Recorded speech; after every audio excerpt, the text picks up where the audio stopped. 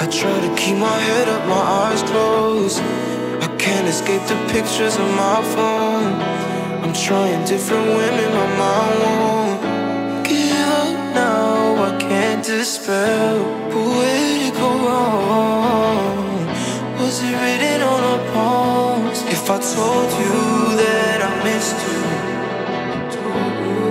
is it wrong?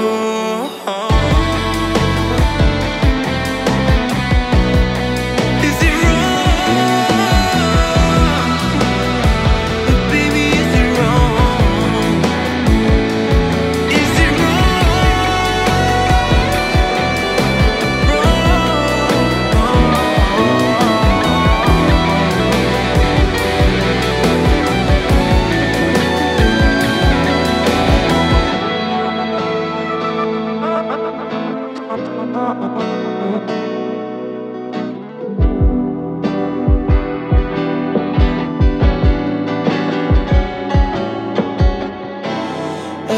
is so misleading. I try my best, I can't conceal it. But looks can be so deceiving. So tell me, am I wrong?